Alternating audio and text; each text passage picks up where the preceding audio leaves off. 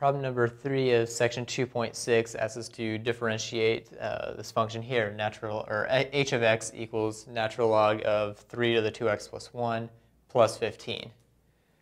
So there's going to be a couple, couple different steps here. First thing we want to do uh, is just use the chain rule. So we have natural log of the function 3 to the 2x plus 1. So start out 1, or 1 over 3 to the 2x plus 1.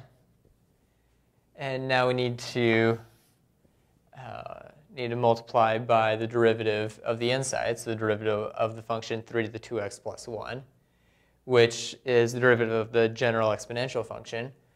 So we first take natural log of uh, the base, which is 3, and then repeat the, repeat the function. So 3 to the 2x plus 1. Uh, we're not quite done here because uh, we also need to multiply by, uh, since we're multiplying by the derivative of this, this is also a chain rule problem with the function 2x plus 1 kind of sitting inside the general exponential function. So final thing we need to do is multiply by the derivative of 2x plus 1, which is just 2.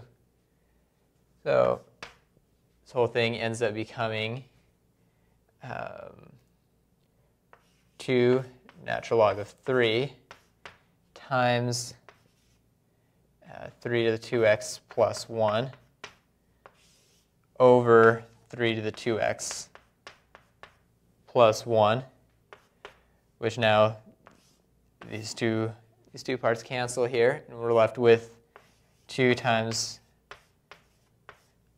the natural log of 3.